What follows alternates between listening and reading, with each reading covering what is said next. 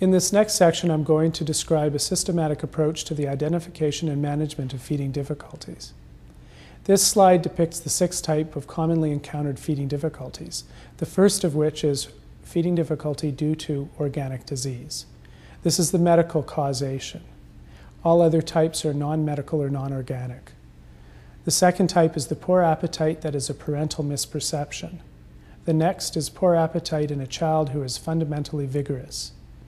The next is poor appetite in a child who is apathetic and withdrawn.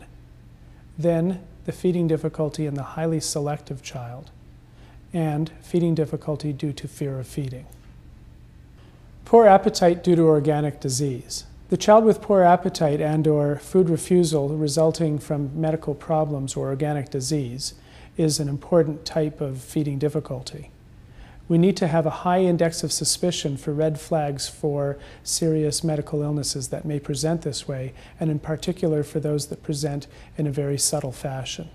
Examples of red flags suggestive of chronic underlying pathology include dysphagia, or recurrent chest disease or swallowing disorders that may be suggestive of underlying neurodevelopmental disorders. Failure to thrive, which can occur in the absence of organic disease, also may be suggestive of subtle conditions presenting, such as celiac disease or renal tubular acidosis. Feeding interrupted by pain or vomiting may be suggestive of GERD or eosinophilic esophagitis, and there are a myriad of other causes demonstrated on this slide.